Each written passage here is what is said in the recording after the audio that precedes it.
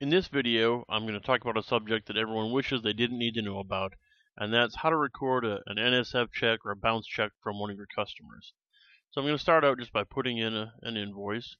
We'll use our customer Williams, and we'll date that April 1st, and let's say this is invoice number 1234. And it was for $100, and we'll let it calculate the tax on there, and we'll save that. Now we'll go into receive money from customer. And let's see, paid that with check 9786. Also paid it on the first. And for the full amount. We'll save that. And now I've already got a customer transaction history report open so we can see that looks just like what we would expect. We've got the invoice, we've got the payment applied to it. Balance on that invoice is zero, and the customer's total balance is zero right now. But let's say that then um, a couple days later, we get a notice from our bank that the check did not clear. So now they've charged us an, an NSF check charge, and we're going to pass that on to our customer. Now, even if you don't want to pass that fee on to your customer, I'd still recommend you use this method because it will make things so much easier and you can easily adjust that off the customer's balance later. So first thing we're going to do is we're going to bill the customer for the bank charge. So we'll start entering our new invoice and we'll say this was on the 3rd. And because I left this window open, it incremented the invoice number for me, but we're going to call this 1234 NSF. So we're going to use the original invoice number with NSF tacked on the end.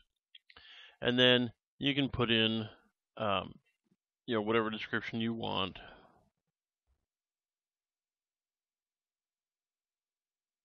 And then for the GL account, um, you could put this to um, like another income, or uh, and, and other income would be common if you mark up the uh, the fee that the bank passes on. So if the bank charges you twenty dollars and you charge your customer forty dollars, then you probably want to throw it into other income.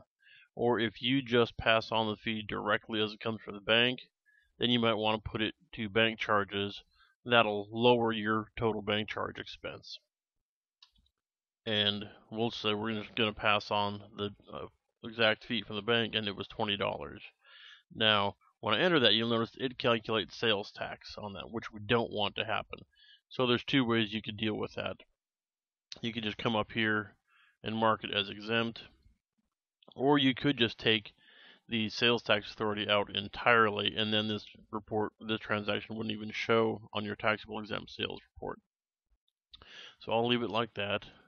And uh, oh, and also I forgot to say, if you don't have this column here for GL account, then the way you get that to show up is uh, back here uh, from the main menu. If you go to the options and then global, you'll see that right here on the accounting tab, hide general ledger accounts, you will see that there's a check mark next to accounts receivable. So it's hiding the GL account column. You just uncheck that and click OK. And then uh, and then that column will show up. If you've left if this window is open while you're doing that, you'll probably have to close it and reopen it. You may even have to uh, close the company and reopen it to get it to show up. But so I'm going to save that new invoice where we're where we're invoicing them for the bank charge. Let's go back now and look at our customer transaction history report. So there's the original invoice paid off. Now we've got a new invoice for $20. So now we need to fix our, our cash and we need to get this $107 back on the customer's balance because they owe us that money still.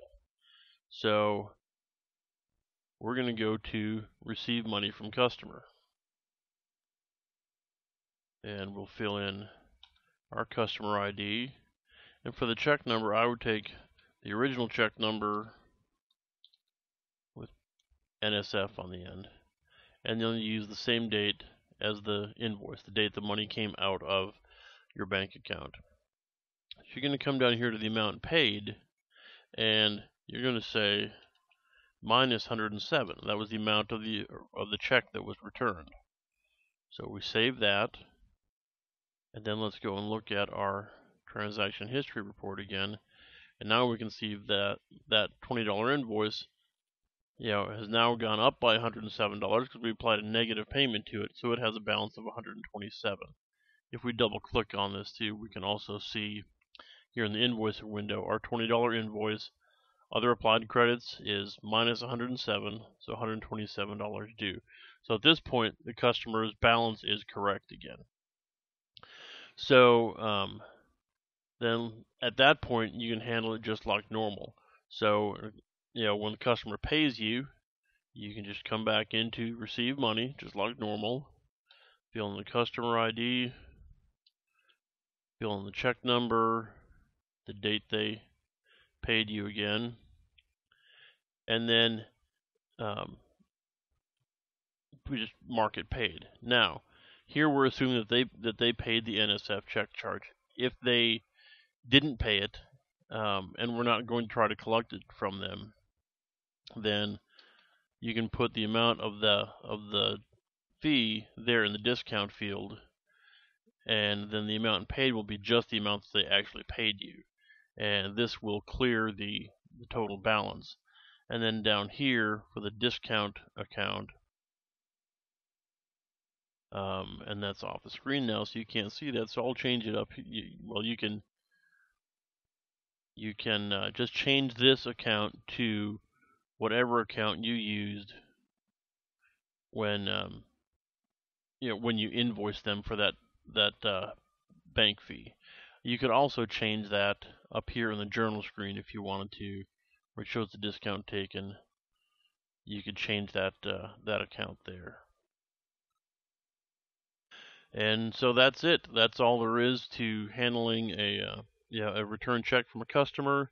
Um, I've seen people try to come up with other ways to do it, um, but this is really the easiest way. Even if you don't want to charge the customer for the the the bank fee, go ahead and invoice them for it. That makes the rest of the workflow really easy, and you can just write it off at the end through the discounts field.